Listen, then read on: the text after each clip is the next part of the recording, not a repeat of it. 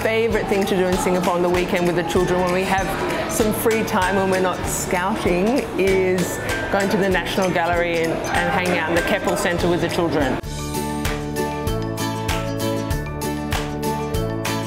They love uh, maybe the trampoline parks, they love the rope course, they love a lot of outdoor things that we make special time to do. We don't do very regularly. There's so many parks in Singapore.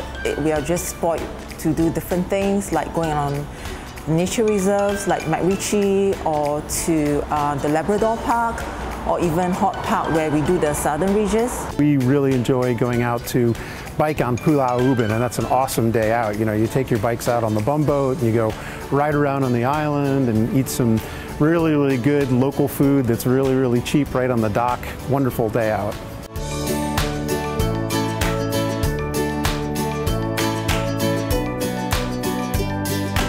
There are two favorite parks that we go to. One is the Punggol Park and one is at the East Coast Park.